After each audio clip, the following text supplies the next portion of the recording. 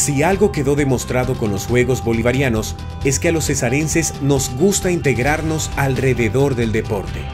Por eso el gobierno lo hacemos mejor a través de la Secretaría de Recreación y Deportes y articulados con la Liga de Fútbol de Salón del Cesar, ofrecen un nuevo espacio de integración que se está ganando la alegría y pasión de la ciudadanía. Se trata del Campeonato Comunitario de Microfútbol Lo Hacemos Mejor.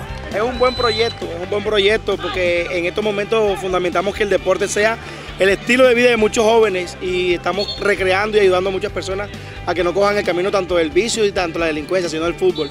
Esto es el mejor deporte que hay en estos momentos. Primero porque pues le da la oportunidad a los jóvenes que generalmente lo que están haciendo de tener algo que hacer en su tiempo libre. Familias y grupos de amigos se reúnen en torno a este campeonato, que desde su lanzamiento hasta ahora se ha convertido en un espacio inclusivo que estimula el desarrollo personal mediante el esparcimiento la recreación y el desarrollo físico. Sin duda, un gran puente para la integración social de la comunidad vallenata. Que es algo productivo, no solamente para la comunidad, sino también para las personas que practican el deporte y sobre todo para los niños les sirve de inspiración. Con una recreación full divertida y sana.